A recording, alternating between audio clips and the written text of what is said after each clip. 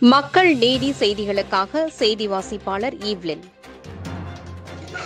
கும்முடிப்பூண்டி வட்டார வளர்ச்சி அலுவலர் மருத்துவமனையில் கொரோனா சிகிச்சை பலனின்றி உயிரிழந்தார். திருவள்ளூர் மாவட்டம் கும்முடிப்பூண்டி வட்டார வளர்ச்சி அலுவலகத்தில் வட்டார வளர்ச்சி அலுவலராக சுவாமிநாதன் பணிபுரிந்து வந்தார். இவர் கும்முடிப்பூண்டி ஒன்றியத்திற்குட்பட்ட ஊராட்சி பகுதிகளில் கொரோனா வைரஸ் பரவலை தடுப்பதற்கு தொடர்ந்து பல்வேறு பாதுகாப்பு நடவடிக்கைகளில் ஈடுபட்டு வந்தார். இதனால் திடீரென உடல்நிலை பாதிக்கப்பட்ட அலுவலர் சுவாமிநாதன் பரிசோதனையில் கொரோனா தொற்று ஏற்பட்டுள்ளது உறுதி செய்யப்பட்ட நிலையில் உடல்நிலை பாதிக்கப்பட்டு சென்னை ஓமந்தூரார் அரசு மருத்துவமனையில் சிகிச்சை பெற்று வந்தார். இந்த நிலையில் சிகிச்சை பலனின்றி அவர் உயிரிழந்தார். வட்டார வளர்ச்சி அலுவலர் இழப்பினால் அலுவலகத்தில் பணிபுரிந்த ஊழியர்களும் அவரது குடும்பத்தினரும் சோகத்தில் ஆழ்ந்துள்ளனர்.